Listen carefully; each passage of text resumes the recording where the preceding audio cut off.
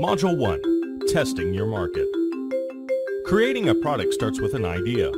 If you have an idea for an information product, you can turn that idea into a money-making machine. So as long as you understand the process that you should follow.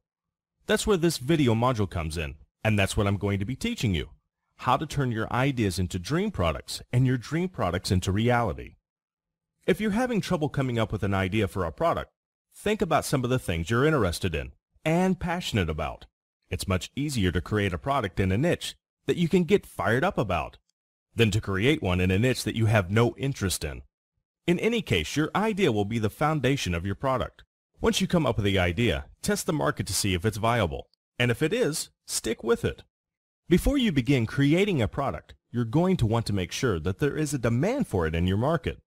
For example, if you're going to be targeting women who want to lose weight after giving birth, you're going to want to do some research to see what's selling and what isn't. This can be done several ways. Number one is keyword tools. By using keyword tools, such as Google AdWord keyword tool, you get an idea whether or not there is a general interest in your product idea. Just set the tool to phrase and type in your main keyword and see if it and the suggested keywords are getting a decent amount of searches. If your keyword is getting a large amount of searches, that's a good start, but doesn't necessarily mean you have a winning idea. There are other factors to take into consideration as well. Also, take a look at the competition rating on the keyword tool. If there is a high amount of competition, that means that more likely there is profit to be made because people wouldn't be spending money on AdWords if they weren't turning a profit. Number two, checking competition on Google. Too much competition can be hard to overcome, so make sure you do check on your keywords in Google wrapped in quotation marks. If you see millions of pages coming back, and other info products taking to the top spots, it could be difficult to get organic traffic from Google.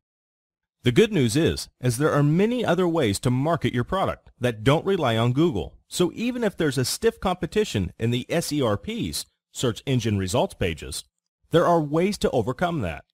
However, if you do not want to rely on Google for most of your traffic, then it would be a good idea to avoid tough competition. Number three, researching forums. Think about what niche your product is in and do a search for forums in that niche. For example, if your product is going to be in the internet marketing niche, you're going to want to check out forums such as the Warrior Forum to see if your product idea is hot or not. This can be a great opportunity to interact with the forum members and see what kind of info products they would like to buy. You may even come up with new ideas that you haven't even thought of yet by getting feedback this way. Number 4. Researching marketplaces. Another great way to research your product idea is to see if similar products are selling at various online marketplaces. ClickBank, Amazon, eBay, and others are great places to check out to see what's currently selling in your niche. If you want to create a weight loss product, you can see exactly what types of weight loss info products are selling. Keep in mind that on some sites such as Amazon, you can't see exactly how many products have sold out, but you can check to see ratings and reviews.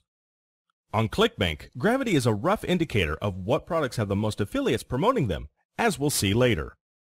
Number 5. Moving forward. Once you've determined that there is a demand for your idea, you can begin to plan out how you're going to create it. Is it going to be an ebook, video series, audio series, or something else? The method you choose to present your info product to your market is very important, and you don't have to choose just one. In fact, the more ways you present your info product to your market, the better. We'll get into that in more detail later. For now, you're going to want to concentrate on gathering all the info you're going to need to draft an outline of your product.